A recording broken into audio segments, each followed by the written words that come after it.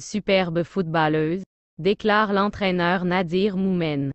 Elle a tout ce qu'il faut comme athlète par exemple. Endurance, force, vitesse, travail acharné à peu près tout ce que vous pouvez demander, d'un point de vue sportif. Il existe de nombreux facteurs lorsqu'il s'agit d'écrire l'histoire. Il y en a qui le lancent, et d'autres qui viennent le long du chemin pour rendre le chemin plus lumineux.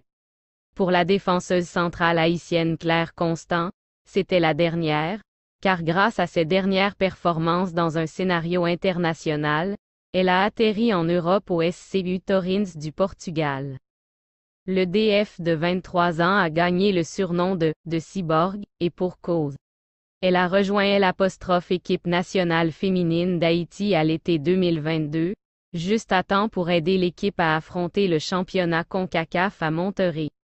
Haïti a montré pourquoi ils étaient une équipe que